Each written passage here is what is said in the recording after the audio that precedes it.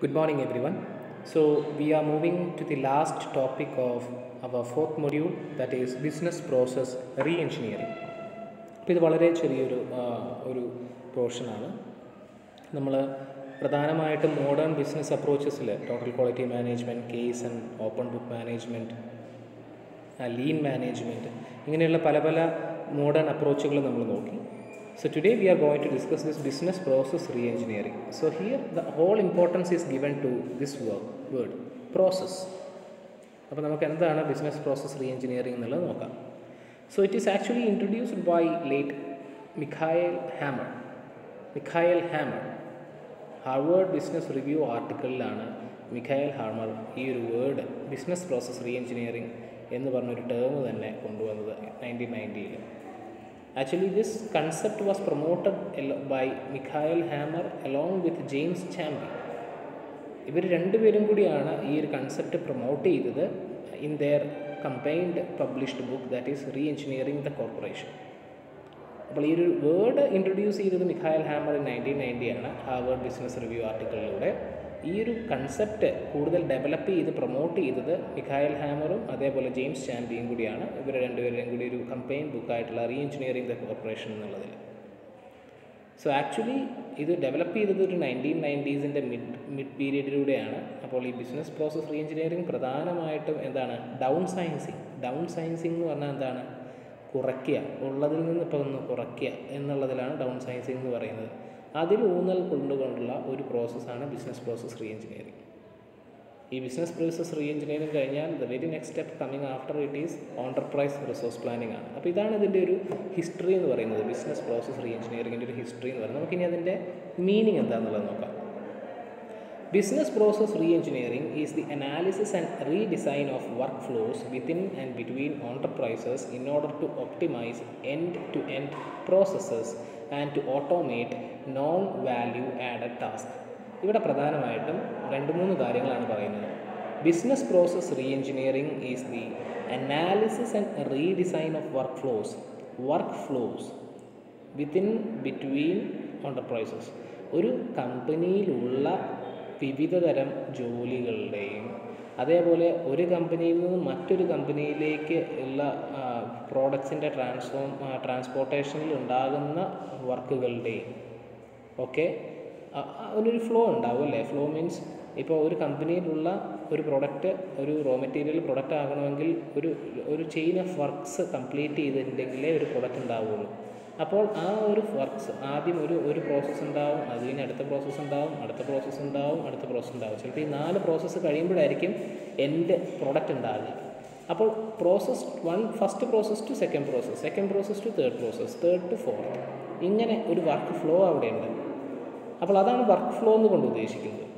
അപ്പോൾ ആ കമ്പനിയിൽ തന്നെയുള്ള പ്രോസസ്സുകളുടെ ഒരു വർക്ക് ഫ്ലോ അത് കൂടാതെ ആ കമ്പനിയിൽ നിന്ന് മറ്റൊരു കമ്പനിയിലേക്കുള്ള ട്രാൻസ്പോർട്ടേഷനുമായി ബന്ധപ്പെട്ട മറ്റ് വർക്ക് ഫ്ലോ അങ്ങനെയുള്ള ഇത്തരത്തിലുള്ള വർക്ക് ഫ്ലോകളെ കൃത്യമായിട്ട് അനാലിസിസ് നടത്തുകയും അങ്ങനെയുള്ള വർക്ക് ഫ്ലോകളെ അനാലിസിസ് നടത്തുകയും അതിൽ ഇപ്പോൾ ഉള്ളതിൽ നിന്ന് മികച്ച രീതിയിലേക്ക് റീഡിസൈൻ ചെയ്യുകയും ചെയ്യുന്ന ഒരു പരിപാടിയാണ് ബിസിനസ് പ്രോസസ് റീ എഞ്ചിനീയറിംഗ് അതുകൊണ്ടാണ് പ്രോസസ്സ് എന്നുള്ളത് വാക്കിന് ഇമ്പോർട്ടൻസ് പ്രോസസ്സിനെയാണ് റീ ചെയ്യുന്നത്. സോ വർക്ക് ഫ്ലോകളെ പ്രോസസ്സുകളെ അനാലിസിസ് അനാലിസിസ് നടത്തുകയും അവയെ റീഡിസൈൻ ചെയ്യുക കുറച്ചുകൂടി മെച്ചപ്പെട്ട രീതിയിലേക്ക് മാറ്റുക. ഇതാണ് ബിസിനസ് പ്രോസസ്സ് റീ എഞ്ചിനീയറിംഗ് കൊണ്ട് ഉദ്ദേശിക്കുന്നത്. അതേപോലെ തന്നെ അവർ വേറൊരു കാര്യവും പറയുന്നുണ്ട്. It optimise the end to end process എല്ലാ പ്രോസസ്സുകളെയും അവർ ഒപ്റ്റിമൈസ് ചെയ്യുന്നുണ്ട് മികച്ചതാക്കുന്നുണ്ട്. അതേപോലെ തന്നെ automate non value add task ഈ വാല്യൂ ആഡ് ടാസ്കുകളുണ്ട് നോൺ വാല്യൂ ആഡ് ടാസ്കുകളുണ്ട് അതിൽ ഇമ്പോർട്ടൻസ് ഏതിനാണ് കൊടുക്കേണ്ടത്? ഒരു പ്രൊഡക്റ്റിന് വാല്യൂ കൂടാൻ വേണ്ടിയിട്ട് നമ്മൾ ഒരുപാട് പ്രവർത്തനങ്ങൾ ചെയ്യുന്നുണ്ടാവും കമ്പനിയിൽ അതിൽ ചില പ്രവർത്തനങ്ങൾ പ്രൊഡക്റ്റിന്റെ വാല്യൂ കൂട്ടുന്ന പ്രൊഡക്റ്റുകൾ പ്രവർത്തനങ്ങളായിരിക്കും. ചില പ്രവർത്തനങ്ങൾ പ്രത്യേകിച്ച് ഒരു പ്രൊഡക്റ്റിന്റെ വാല്യൂ കൂട്ടുന്നതിൽ ഒരു പങ്കും വഹിക്കാത്ത പ്രവർത്തനങ്ങളും ഉണ്ടാവും. അത്തരത്തിലുള്ള പ്രവർത്തനങ്ങളാണ് നോൺ വാല്യൂ ആഡഡ് ടാസ്കുകൾ അതേസമയം ഒരു പ്രൊഡക്റ്റിന്റെ അൾട്ടിമേറ്റ് വാല്യൂ കൂട്ടുന്ന രീതിയിലുള്ള പ്രവർത്തനങ്ങൾ എന്തെങ്കിലും ഉള്ളത് വാല്യൂ ആഡ് ടാസ്കുകളാണ് അത്തരത്തിലുള്ള വാല്യൂ ആഡ് ടാസ്കുകൾക്ക് ഇമ്പോർട്ടൻസ് കൂടുതൽ കൊടുക്കണം. നോൺ വാല്യൂ ആഡ് ടാസ്കുകൾക്ക് ഇമ്പോർട്ടൻസ് കുറഞ്ഞാൽ മതി. അതിന് പ്രത്യേക ശ്രദ്ധയൊന്നും വേണ്ട. അതിനെ ഓട്ടോമേറ്റ് ചെയ്യുക. തന്നെത്താൻ നടക്കുന്ന പ്രക്രിയകളാക്കി മാറ്റുക. അതിന് പ്രത്യേക ഊന്നൽ കൊടുത്ത് ശ്രദ്ധ കൊടുത്ത് ചെയ്യേണ്ട ആവശ്യമൊന്നുമില്ല. അത് ഓട്ടോമേറ്റ് ചെയ്യുക. അപ്പോൾ ചുരുക്കി പറഞ്ഞാൽ ബിസിനസ് റീ എഞ്ചിനീയറിംഗ് എന്ന് പറഞ്ഞു കേട്ടിട്ടുണ്ടെങ്കിൽ വർക്ക് ഫ്ലോകളെ അനാലിസിസ് ചെയ്യുകയും റീഡിസൈൻ ചെയ്യുകയും ചെയ്യുക. അതേപോലെ തന്നെ എല്ലാ പ്രോസസ്സുകളെയും മികച്ചതാക്കുക ഒപ്റ്റിമൈസ് ചെയ്യുക. അതോടൊപ്പം തന്നെ നോൺ വാല്യൂ ആഡ് ടാസ്കുകളെ ഓട്ടോമേറ്റ് ചെയ്യുക. ഇതെല്ലാമാണ് business re process re engineering കൊണ്ട് പ്രധാനമായിട്ടും ഉദ്ദേശിക്കുന്നത്. അടുത്തത് നമുക്ക് ഒന്ന് ബിസിനസ് പ്രോസസ് റീ എഞ്ചിനീയറിംഗ് അതിനെ ഒന്ന് സ്പ്ലിറ്റ് ചെയ്താൽ കുറച്ചും കൂടി ഭംഗിയായിട്ട് മീനിങ് കിട്ടും. ബിസിനസ് പ്രോസസ് റീ എഞ്ചിനീയറിംഗ് അല്ലേ? So is divided into business process and re-engineering. So what do you mean by business process? What do you mean by re-engineering?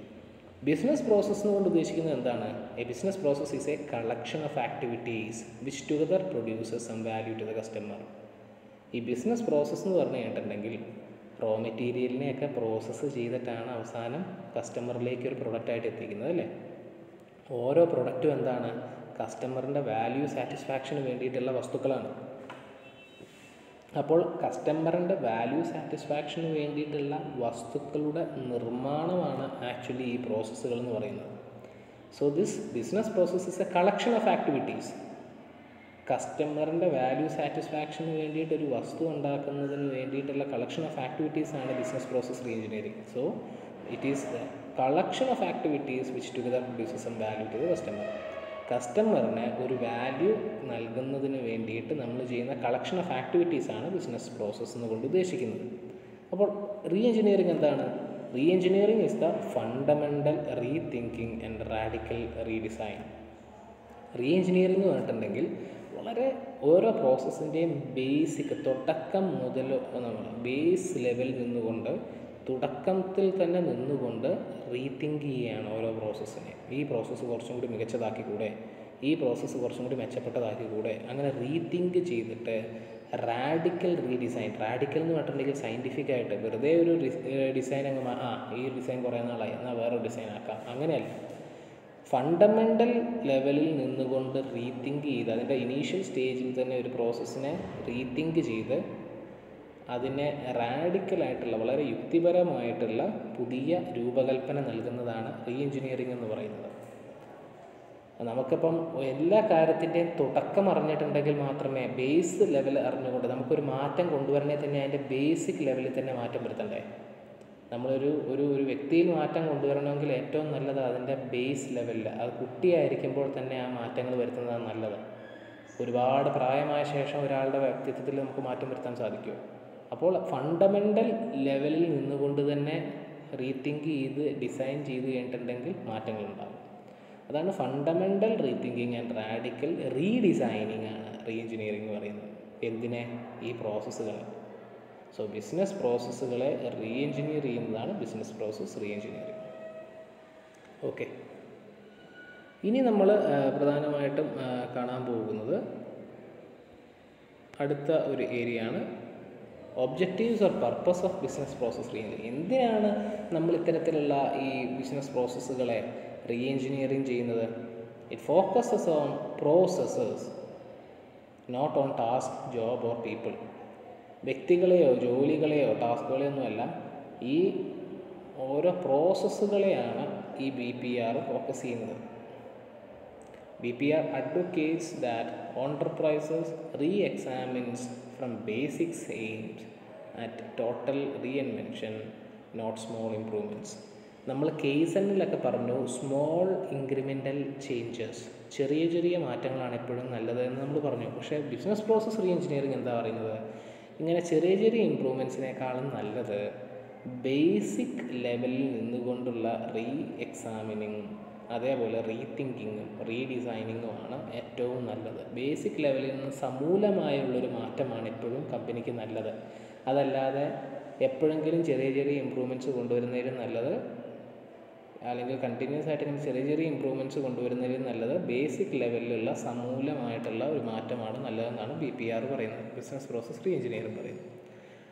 ഈ business process re എഞ്ചിനീയറിങ്ങിന്റെ പ്രധാനപ്പെട്ട ഒരു പ്രോസസ്സുകളെ അഞ്ച് സ്റ്റെപ്പായിട്ട് തിരിച്ചിട്ടുണ്ട്. നമ്മളെപ്പോഴും പ്രോസസ്സിനെയാണ് റീഡിസൈൻ ചെയ്യുന്നത്. അത് എപ്പോഴും ശ്രദ്ധിക്കുക. The business process re engineering ഉള്ള സീരീസ് ഓഫ് സ്റ്റെപ്സ് ആദ്യം define objectives and framework നമുക്ക് ഏത് പ്രോസസ്സിനെയാണ് റീഫ്രെയിം ചെയ്യേണ്ടത് റീഡിസൈൻ ചെയ്യേണ്ടത് എന്നുള്ളത് നമ്മൾ കൃത്യമായിട്ട് ഡിഫൈൻ ചെയ്യണം. നമ്മൾ എന്തൊക്കെയാണ് ബിസിനസ് പ്രോസസ് റീ എഞ്ചിനീയറിങ്ങിലൂടെ നമ്മൾ എന്തൊക്കെ ഒബ്ജക്റ്റീവ്സ് ആണ് ലക്ഷ്യം വെക്കുന്നത് എന്നുള്ളത് ഡിഫൈൻ ചെയ്യുക.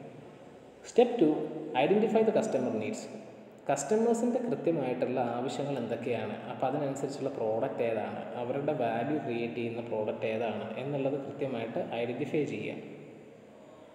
അതിനുശേഷം step three study the existing business process അപ്പോൾ ഈ കസ്റ്റമേഴ്സിന്റെ നീഡ്സ് സാറ്റിസ്ഫൈ ചെയ്യാൻ ഇപ്പോൾ ഒരു പ്രൊഡക്റ്റ് മാർക്കറ്റിൽ ഇറങ്ങുന്നുണ്ട്. ആ പ്രൊഡക്റ്റ് എങ്ങനെ ഫോം ചെയ്യുന്നു എന്നുള്ള കറണ്ട് ബിസിനസ് പ്രോസസ്സ് എങ്ങനെയാണെന്നുള്ളത് നോക്കുക.